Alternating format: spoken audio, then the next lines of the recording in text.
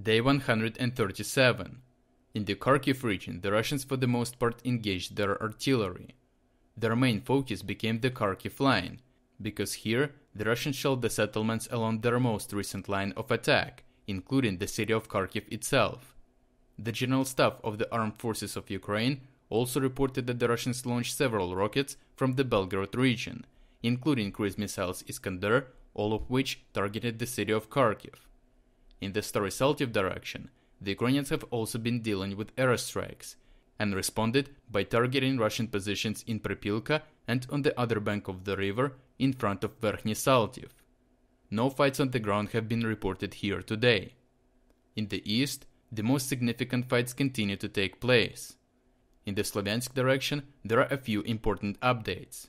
First of all, the General Staff of the Armed Forces of Ukraine indirectly confirmed that the Ukrainian defense line still goes through Mazanivka, by saying that a recently launched attack from Dovhenke in that direction was repelled. On the other hand, the Ukrainian sources started to report that the Ukrainian control over Bohorodochne shrank significantly over time, meaning that the Ukrainians are only controlling a small area in the eastern part of the village. There was also an update about the village of Sidorove, if previously the Russians claimed that they fully control this village and are preparing to attack Mayaki, then now the Russians are considering this town as a gray zone, which means that as a result of the fights that have been taking place to the south of this village, the Russians have been pushed out of this village. It is possible that the village itself was reduced to ruins and the Russians decided to pull back. In any case, it will be notably harder for the Russians to launch an attack on the village of Mayaki. Apart from the territorial updates, there were also reports of fighting taking place in Krasnopillia. The Russians carried out a combat reconnaissance operation with an assault group, but had no success. In the Siversk direction, the attack on Siversk continues. The Russians shelled Ukrainian fortified positions in between the settlements around Siversk, while the Ukrainians targeted the Russian positions in Yampil and the forestal area on the other bank of the river. The Ukrainians are anticipating that the Russians will try to cross the river therefore try to focus a lot on detecting and attacking the areas of concentration of the Russian forces. When it comes to the frontline changes, yesterday the Luhansk People's Republic Deputy Interior Minister claimed that the Russian forces captured Hrigorievka. However, this information has not been widely confirmed. During the last attack, the Ukrainians again applied their new tactic and let the Russians get inside the target. After the Russians entered the village, the Ukrainian forces launched a counterattack from the forestal area nearby. It was a heavy fight, and the results are unclear.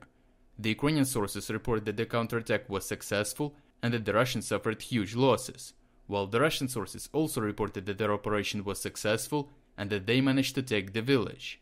It is highly likely that they define success differently, so we will see a bit later what is actually happening here.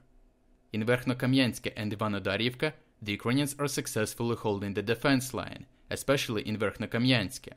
The location of this village and its connection to Siversk creates very good conditions for defense, so the Russians here struggle a lot and suffer heavy losses in trying to gain more ground. In the Bakhmut direction, today only shelling was recorded. However, it seems like the Russians retained their position in Vesela Dolina. It is not too far from their new base in Klinova, but their ability to provide good cover is also not that good. The situation here is very unstable, and fierce fights are going to take place here very soon. The Russians need to establish control over Zaitsev and Kodema in order to ensure success of their offensive operation on Bakhmut. These two villages are absolutely vital, but that is why they have also been so much reinforced by the Ukrainians. Taking Vesela Dolina was a very dangerous move by the Russians as they put themselves in a pocket. The counterattack from the Ukrainians is definitely coming, unless the Russians decide to withdraw. If you are against this war and want to support the work that I'm doing, consider making a purchase in the online store UA Supporter. Here you can find a lot of products with Ukrainian symbols. You should also know that all products are shipped for free, and on top of that, you can get a 10% discount by using the code STOPWAR. The link to the online store is in the description. Thank you for watching, and I will see you in the next report.